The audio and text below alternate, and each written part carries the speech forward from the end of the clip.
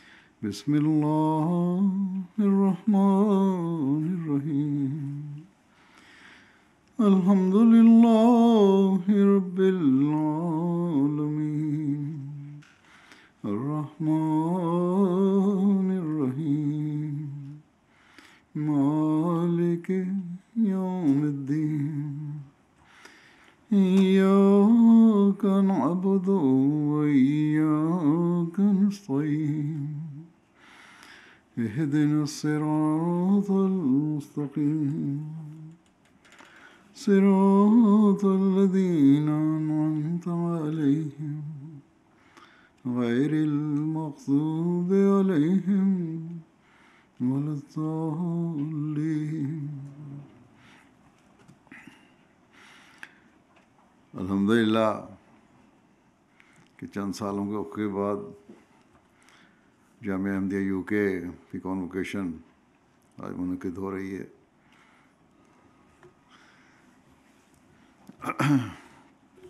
इस अरसे में जहाँ जो फॉर्मल फ़ंक्शन थे कॉन्वोकेशन वगैरह, या दूसरी क्लासें वगैरह, वो मुनद नहीं हुई। जामिया के तलबा से जो मेरी मुलाकात हुआ करती थी इनफरादी तौर पर वो भी बाकायदा नहीं रही। इसलिए बहुत सारे तलबा जो पिछले तीन चार साल में फारग हुए हैं या आजकल जो जामिया में हैं, उनको चेहरों से मैं शायद नहीं पहचानता या नहीं पहचान सका, और मास्क की वजह से बिल्कुल नहीं। बाज़ों के मैंने मास्क उतार के भी देखे। इसका भी एक फ़ायदा होता है ज़ाती तारफ़ का। उनके चेहरे भी याद रहते हैं, फिर उनकी रिपोर्ट्स के बाद उनके काम भी याद रहते हैं। और अगर तो जो दिलानी हो तो वो भी दिलाई जाती है। बहरहाल, अल्लाह ताला का फ़ज़ल है कि वबा तकरीबन ख़त्म है और अब दोबारा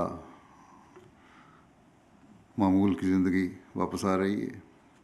इन जो पुरानी एक्टिविटीज़ थी, जो वो प्रोग्राम थे, वो दोबारा शुरू हो जाएँगे। हमेशा याद रखें कि जिस मकसद के लिए जामिया में दाखिल हुए थे,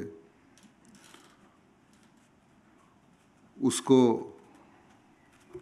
हासिल करने की हमेशा कोशिश करनी है आपने। उस मकसद की कुछ तरबियत लेकर आप जामिया से निकलें।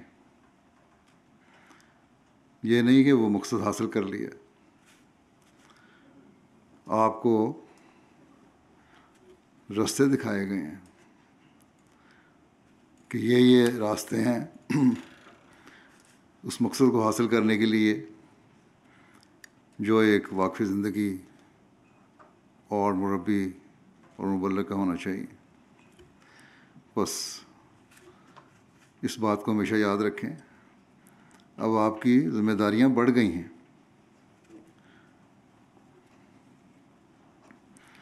और इस मकसद को हासिल करने के लिए आपने अब ख़ुद मेहनत करनी है।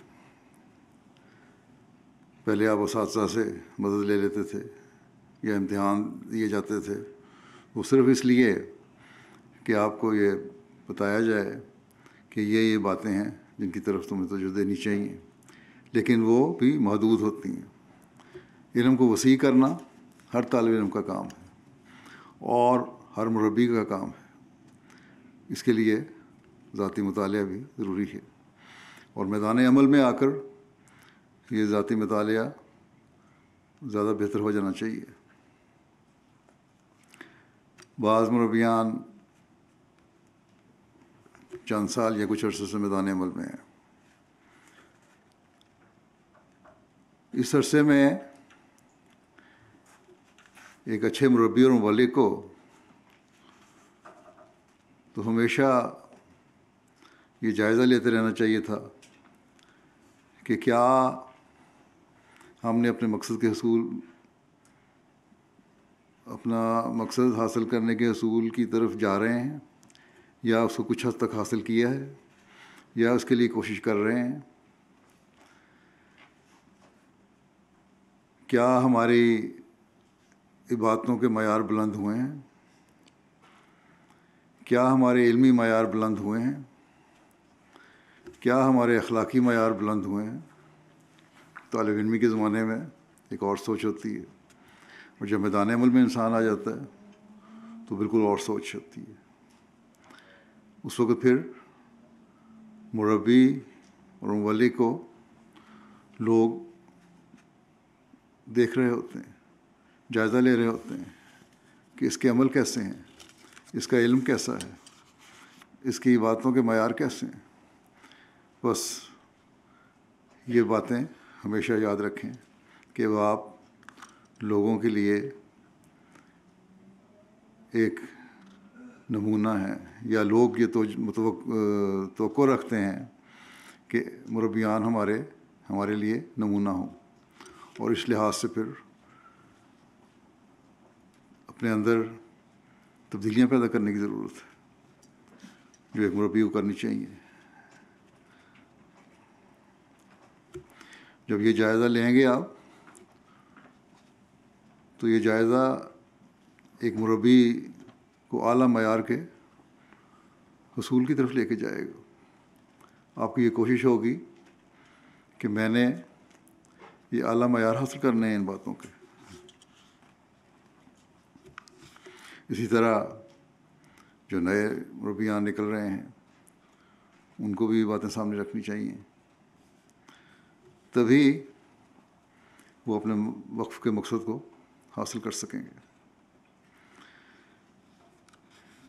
जामिया के साथ साल तो जैसा कि मैंने कहा, मुख्तलिफ़ के असूल का रास्ता दिखाने के लिए इनको हासिल करना, इनसे सही फ़ायदा उठाना। अब मैदान अमल में आकर हर एक की ज़ाती कोशिश पर मुनसर है। कामयाब मुरबी और मुबलक वही हैं जो मुसलसल कोशिश इन बातों के असूल के लिए करते हैं। बस अब आपकी ज़िम्मेदारियाँ बहुत बढ़ गई इस लिहाज से अपने जायज़े मुस्तकिल लेते रहें और देखें कहाँ हमारे कदम रुके हैं, कहाँ रोकें पैदा हुई हैं। कहाँ हमें अपनी असलाह करनी है? कहाँ बेहतरी पैदा करने की कोशिश करनी है? बहरहाल इस वक्त मैं हज़ मुस्लिम रज़ान हो कि मुरबियान को जो नसाए हैं मुख्तलिफ़ अवकात में, उनके हवाले से कुछ बातें कहूँगा। हज़रत मुस्लिम रज़ान हो ने अपने तवील दौर खिलाफत में जहाँ जमात के इंतज़ामी निज़ाम को मनज़म किया। अलावा रूहानी तरक्यात और तबलीगी कामों के और इशात के इशात दीन के। वहाँ मुरबियान के निज़ाम को भी, की भी आसन रंग में रहनुमाई फरमाई। उन्हें भी मनज़म फरमाया।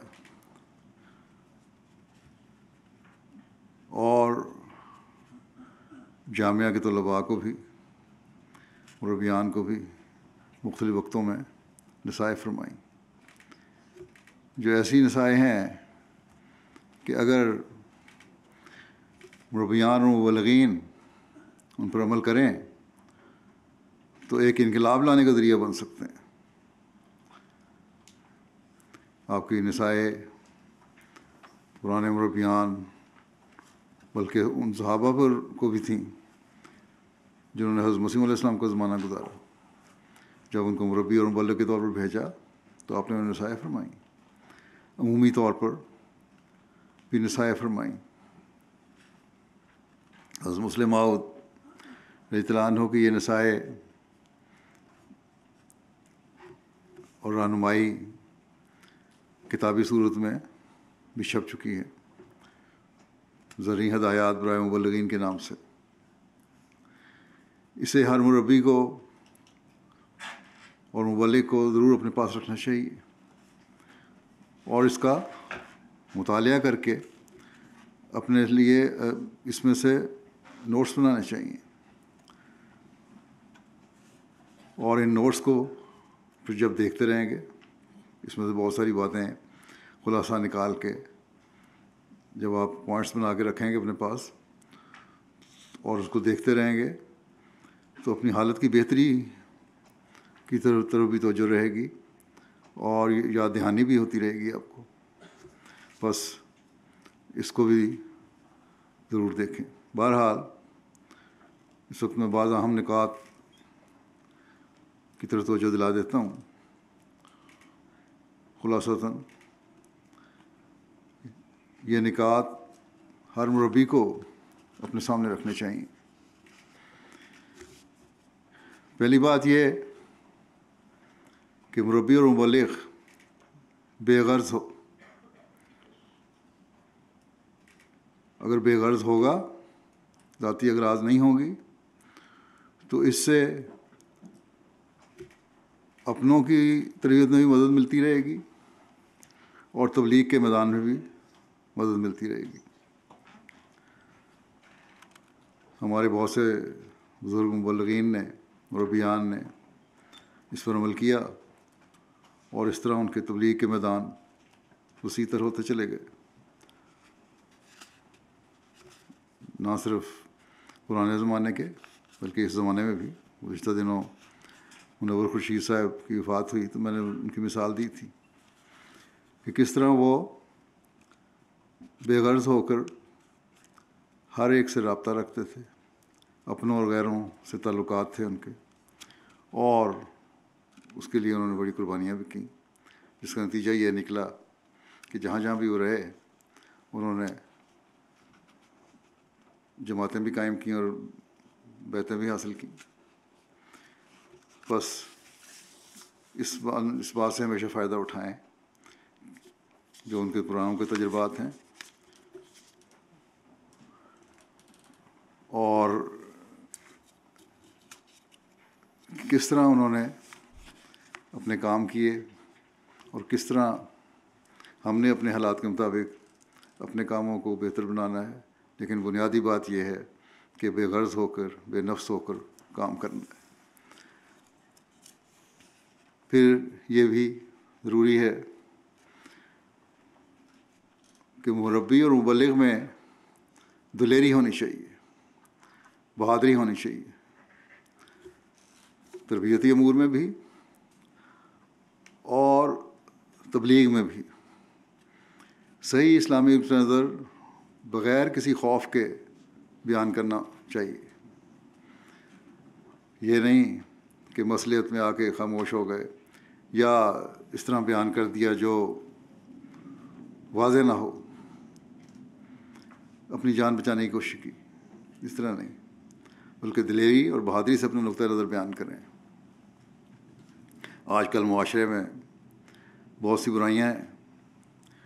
इनको हमत से और ज़रूरत से बयान करना और इसलाह की कोशिश करना हर मुरबी का काम है। बाज़ दफ़ा बाज़ बातें बयान करते हुए हम झिझकते हैं कि लोग क्या कहेंगे।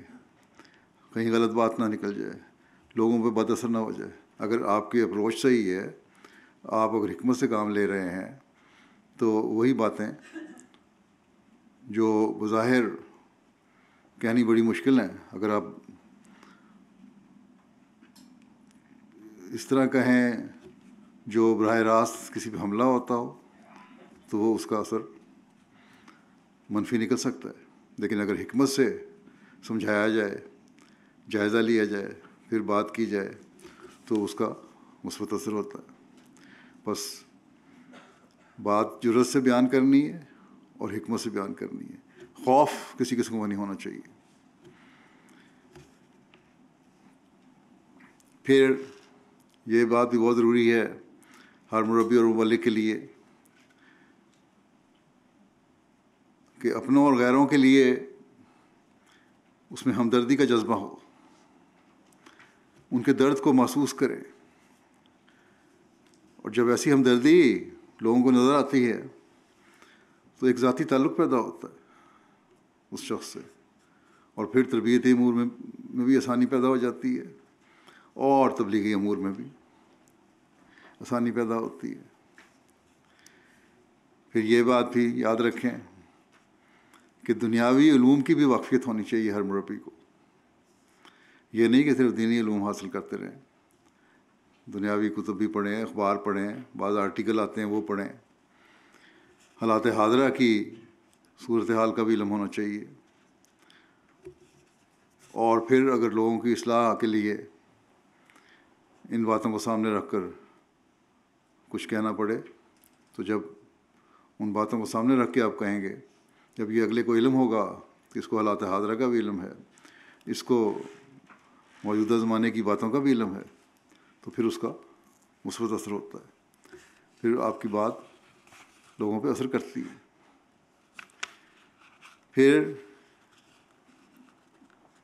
ये बात भी बड़ी अहम है मुरबियान के लिए कि उनको अपनी ज़ाहरी सफ़ाई का भी ख्याल रखना चाहिए और लिबास भी उनका बावकार होना चाहिए। ये नहीं कि खिलंडरों की तरह, अब ज़माना तलब इल्म में गुजर गया, मैदान अमल में आ गए या आने वाले हैं। तो आपके लिबास ऐसे हों जो बावकार हों।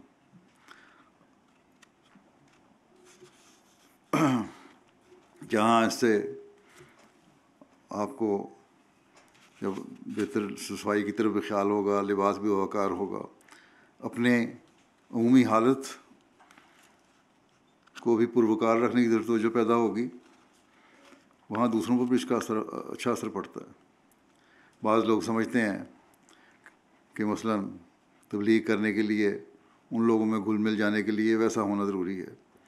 हाँ उनकी बातें सुने, उनकी बातों को उनके अंदाज में एक रख रखाव के साथ बयान ज़रूर करें, लेकिन उन जैसी हरकतें कर देना, करना, ये गलत है।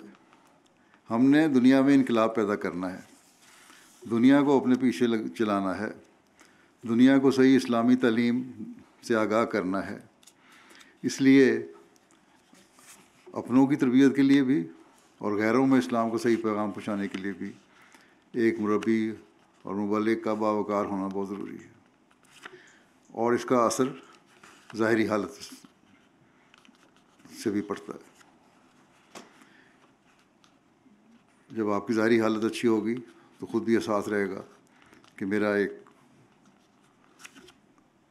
मेरी ये हदूद हैं कुछ। इन हदूद के अंदर मैंने रहना है। बस इस बात का ख्याल रखें। फिर ये भी बहुत ज़रूरी बात है कि कनात की आदत डालें। अपनी ज़ाती अखराज अपनी आमद के मुताबिक करने की कोशिश करें। बहुत कम अलाउंस मिलता है। इस कम से कम अलाउंस में गुजारा करने की कोशिश करें।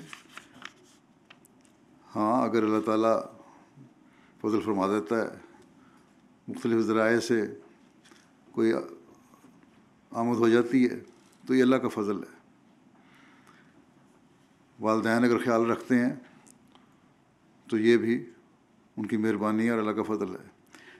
लेकिन कोई उम्मीद नहीं रखनी चाहिए। कोशिश ये करें कि हमने अपने, अपनी हदूद में रहना है। अपने आमद के मुताबिक अपने अखराज करने हैं। और यही बात अपने बीवी बच्चों के जहनों में भी डाल दें। तो फिर ही पुरस्कून ज़िंदगी आपके घरों की भी होगी। और इसी तरह जमाती अमवाल को भी बड़ी एहतियात से खर्च करने की तरफ़ तो जो होनी चाहिए। जहाँ ज़ाती तौर पर कनात पैदा हो वहाँ जमाती अम्बाल को भी, आसन रंग में खर्च करने की तरफ़ तो जो पैदा हो। इससे एक खामोश असर अफराद जमात पर आप डाल रहे होंगे कि ये जमाती अमवाल की हिफाजत करने वाले हैं और हमें इस तोजो दिलाने वाले हैं। और जब ये होगा तो फिर आपकी हर बात का असर अफराद जमात पर होगा। फिर ये भी बहुत ज़रूरी बात है कि ख़ुद पसंदी और ख़ुद सताई ना हो। कोई बात आप करें, कोई लेक्चर दें, कोई तकरीर करें, कोई काम ऐसा करें जो लोगों के फ़ायदे के लिए हो और उनको पसंद आए तो फिर इसको अपने लिए फ़ख्र का ज़रिया ना बना लें। किसी किस्म की फ़ख्र मवाहत नहीं होनी चाहिए। किसी किस्म की ख़ुद पसंदी नहीं होनी चाहिए। लोगों के सामने लोगों की बातें सुन के फिर और भी ज़्यादा अपने आप को के इजहार करने के लिए अपनी तारीफ़ ना करें। ना ये ख्वाहिश करें कि लोग मेरी तारीफ़ करें। ना किसी रिपोर्ट में इस किस्म का इजहार हो कि मेरे इस काम से ये फ़ायदा हो गया। हाँ अल्लाह ताला के फजलों का ज़िक्र ज़रूर करें। कि ये काम हुआ इस तरह। और अल्लाह ताला ने फजल फरमाया और लोगों पे इसका असर हुआ वरना हम क्या चीज़ हैं? अगर दूसरे इस, तारीफ़ करते हैं हाँ दूसरों का हक है वो तारीफ़ करें। और अगर वो तारीफ़ करें और आपके सामने करें तो ज़्यादा से ज़्यादा इस्तफ़ार की तरफ़ तोजह होनी चाहिए। इस्तफ़ार करेंगे अल्लाह ताला हर किस्म के किबर से हमें महफूज रखे और इस वजह से हमारी तरक्की के बजाय कहीं तनजल ना शुरू हो जाए रूहानियत में। फिर एक ये भी बहुत अहम बात है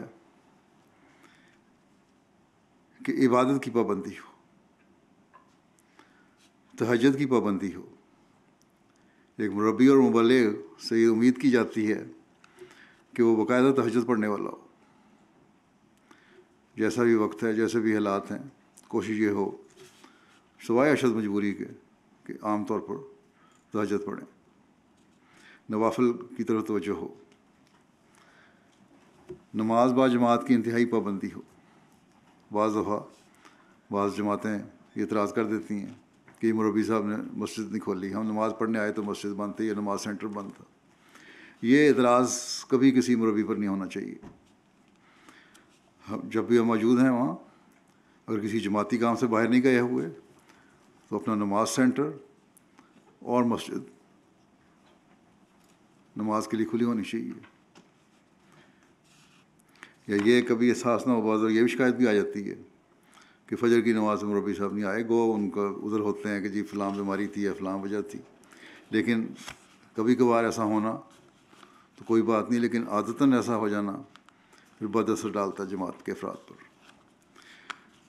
हमेशा ये एहसास रहना चाहिए कि दुआओं और इबादत के बगैर हम कुछ नहीं। और हमारे जो काम भी हैं, वो दुआओं के ज़रिए से होने हैं।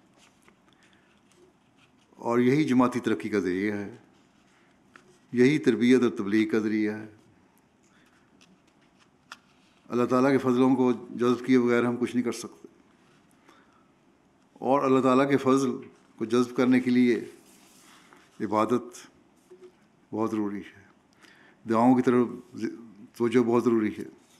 ज़िक्र इलाही बहुत ज़रूरी है। इस तरह सबको तोजह रखनी चाहिए। फिर ये भी मुबलग और मुरबी की खसूसियत होनी चाहिए कि इसमें इंतज़ामी काबिलियत भी हो। सिर्फ़ अपने दीनी मसाइल को हल करने का मलका ना हो, बल्कि इंतज़ामी काबिलियत भी हो, जमाती कवायद का भी पता हो। जमाती कवायद ख़ुद पढ़ें, समझ आएगी। जहाँ समझ नहीं आती, वहाँ पूछें बाला अहदेदारों से। और जमाती रवायात का भी इल्म होना चाहिए। इसके लिए खुलफा की तकरीरें, खुतबात मजामी वगैरह पढ़ें, उससे बहुत सारा इलम हो जाता है। तभी जमात, अफराद जमात की आप सही रहनुमाई कर सकते हैं। और ये भी कोशिश हो कि अफराद जमात में से ख़ास तौर पर नौजवानों में से ऐसे अफराद को हमने चुनना है और उनकी तरबियत करनी है, जिनमें इस्लामी इंतज़ामी मामला सीखने की सलाहियत है। फिर उनकी जमाती रवायात और कवायद के मुताबिक तरबियत करें ताकि जमात को काम करने वाले आइंदा नस्ल में मैसर आते रहें। ये बहुत ज़रूरी चीज़ है। अहदेदार अगर अपने सही ट्रेनिंग नहीं भी दे रहे तो मुरबियान ऐसे नौजवानों को अपने साथ लगाकर सही तरबियत कर सकते हैं, ताकि नौजवानों को जमाती कवायद का भी इलम हो और जमाती रवायात का भी इलम हो और उनको पता हो कि हमने किस तरह आगे निज़ाम जमात को संभालना है। ये ट्रेनिंग देना भी मुरबियान का काम है। ये बात भी हमेशा मुरबी और मुबलिक को सामने रखनी चाहिए कि आजकल के माहौल में जो गलत बातें रह पा रही हैं, इनके अपने दुनियादार लोग भी जो हैं, वो भी इस पर इजहार ख्याल कर, इजहार ख्याल करते हैं और फ़िक्र का इजहार करते हैं। तो जो लोग दुनियावी रुझान रखने वाले हैं बाद लोग ऐसे हैं जो आपकी दीनी दलील से कायल नहीं होते, आपकी बातों से कायल नहीं होते, कहते हैं, तुम्हें क्या पता? दुनिया में ये हो रहा है, ये हो रहा है। उनको, इन दुनियादारों की दलीलों से समझाएँ कि ख़ुद ये लोग अब बाज़ बातों को तस्लीम कर रहे हैं कि ये गलत है। स्कूलों में बच्चों को, छोटे बच्चों को जो तलीम दी जाती है, उसके बारे में ख़ुद इनके अपने लोग आवाज़ उठाने लग गए हैं। औरतों के हकूक़ हैं, उनके बारे में इनके अपने लोग आवाज़ उठाने लग गए हैं। मिक्स गैदरिंग है, उनके बारे में लोग आवाज़ उठाने लग गए हैं। शराब का इस्तेमाल है, उसके बारे में अब नए मजमून आने लग गए हैं कि पहले ये कहते थे कि जी हफ़्ते में एक दफ़ा पी लो तो कोई हर्ज नहीं। अब मेडिकली ये भी उन्होंने गुजशत दिनों में एक आर्टिकल आया तो साबित किया है रिसर्च में कि मुकम्मल तौर पर शराब को तर्क करना चाहिए, क्योंकि ये नुकसान पहुँचाती है। तो बहुत सारी बातें हैं जिनका इलम आपको होता है, इसलिए दुनियावी तौर पर भी अपने इल्म को बढ़ाने की कोशिश करेंगे, इस लिहाज से भी। तो ये तबलीग और तरबियत के लिए आपको फ़ायदा देगी।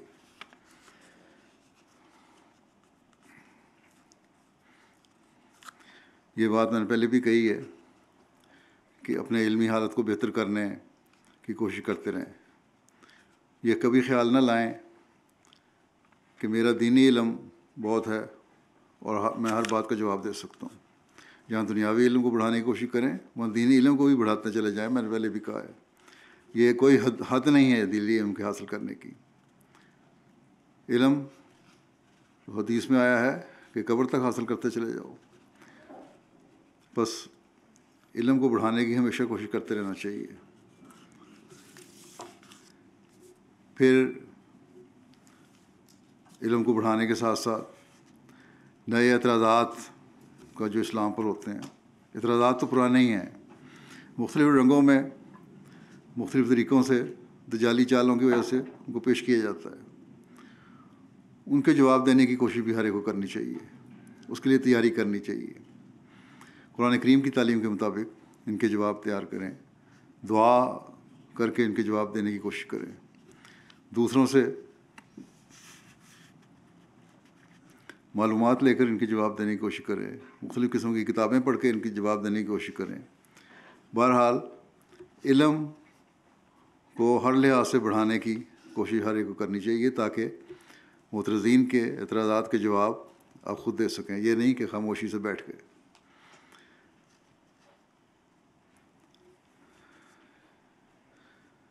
तबलीग के मैदान में ये बात भी याद रखनी चाहिए कि किस शख्स से, किस दलील से बात करनी है। हर एक से एक स्कूल से बात नहीं की जा सकती। पहले इसकी बीमारी को पकड़ कर फिर तबलीग करनी चाहिए। जो शख्स मज़हब को ही नहीं मानता, उसको बाकी मज़हब पर इस्लाम की बरतरी बताने से क्या फ़ायदा हासिल होगा? कहता, जो भी मज़हब मुझे, इससे क्या? पहले उसको मज़हब की अहमियत का कायल करना होगा। इसी तरह जो शख्स खुदा की हस्ती का कायल नहीं। पहले उसे अकल और इल्मी दलाल से, अकली और इल्मी दलाल से खुदा ताला की हस्ती का कायल करना होगा।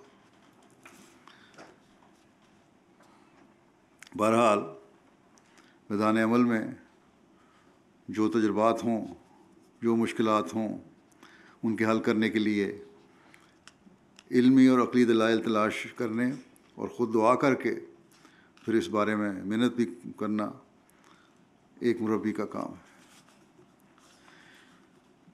फिर ये भी याद रखें कि दूसरों के लिए कुर्बानी का मादा भी मुरबी में बहुत ज़्यादा होना चाहिए। ये अमल दूसरों को आपके करीब लाएगा और आपकी बातों में तसीर पैदा करेगा।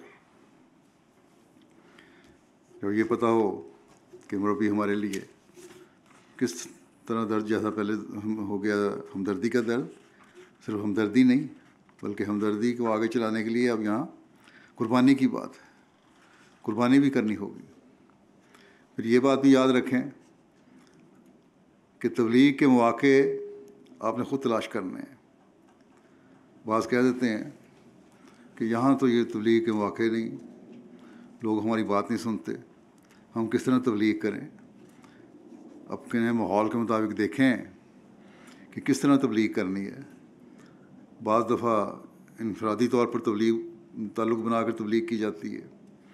बज़ दफ़ा मुख्तलि मौजूद पर सेमिनार मनद करके, जमाती निज़ाम के तहत तबलीग के रस्ते खोले जाते हैं। बज़ दफ़ा बाज़ इस्लामी तालीम इस्लामी तालीम के मुताबिक दुनियावी मसाइल के हल के लिए मुख्तलिफ़ पम्फलेट भी तकसीम किए जा सकते हैं बना के छोटे छोटे ब्रोशर। जो लोगों के सामने जब आएँगे तो फिर वो गौर करेंगे ये हल पेश करने वाले कौन लोग हैं, फिर आगे रास्ते खुलते चले जाएँगे। बहुत से तरीक़ मुख्तलिफ़ लोग, जिनको तबलीग का शौक़ है, वो अख्तियार करते हैं। इसी तरह सोशल मीडिया है इस पर इस्लाम की खूबसूरत तालीम के बारे में छोटे छोटे इकतबासात लिख कर डाल देते हैं बात लोग। वो भी एक ज़रिया है तबलीग का। बहरहाल मुख्तलिफ़ रास्ते हैं जो ख़ुद तलाश करें, किन रास्तों से हम लोगों तक पहुँच सकते हैं? किस तरह हम तबलीग को, के काम को सर अंजाम दे सकते हैं? किस तरह हम इस्लाम के पैगाम को लोगों के कानों तक पहुँचा सकते हैं? आवाज़ देना हमारा काम है। जिसकी फितरत नेक है, वो आएगा अंजाम कर। जमात की अखलाकी और इल्मी तरक्की और इसके मैार को बुलंद करना भी मुरबी की ज़िम्मेदारी है। इस बारे में भी जायज़ा लेकर और मुतल सेक्रेटरियान को मुसलसल तोजो दिलाकर मुरबी को अपना किरदार अदा करना चाहिए। और सबसे बढ़कर जैसा कि मैंने पहले भी ज़िक्र किया कि दुआ की तरफ़ ख़ास तोजो दें हमारे काम अपनी तरफ़ से जो वसाइल मैसर हैं उन पर को इस्त, उनको इस्तेमाल करके और हमारे जो इल्म है उसको इस्तेमाल करके हमारे से जो कोई कोशिशें हो सकती हैं उनको बरूए कार ला कर दुआ उसके बाद फिर दुआ के ज़रिए से अल्लाह ताला के आगे झुकते हुए इनके बेहतर नतज की दुआ करें। अल्लाह ताला से अगर इस तरह हम मांगेंगे तो यकीनन हमारे कामों में बरकत पड़ेगी। अल्लाह ताला हमारे हर काम में बरकत डाले। आपको मैदान अमल में भी कामयाबियाँ ता फरमाए। जहाँ जहाँ जिस जिस मुरबी को लगाया गया है वो उसको वहाँ बेहतर रंग में, आसन रंग में खिदमत दीन की तोफ़ी ता फरमाए अल्लाह ताला। और आप सबको खिलाफत का सुल्तान नसीर बनाए। और हकीकत में आप वो बन जाएँ जो अल्लाह ताला एक वाकफ़ ज़िंदगी से चाहता है, जिसकी हज़रत मसीम ने ख्वाहिश की। और जो एक पाक नमूना बनकर दुनिया के में इनकलाब पैदा करने वाले हों। अल्लाह ताला आप सबको इसकी तोफ़ी किताब फरमाए, दुआ कर लें।